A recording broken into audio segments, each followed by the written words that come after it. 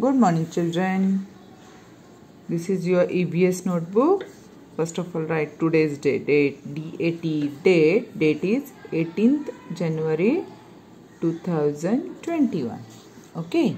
So we are studying sound of animal. So today's animal is horse.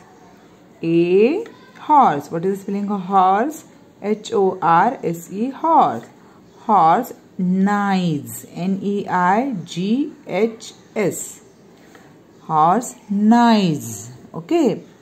A horse. H O R S E horse neighs. N E I G H S. Neighs.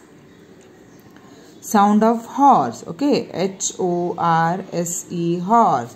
Horse neighs. N E I G H S. Horse neighs. Full stop.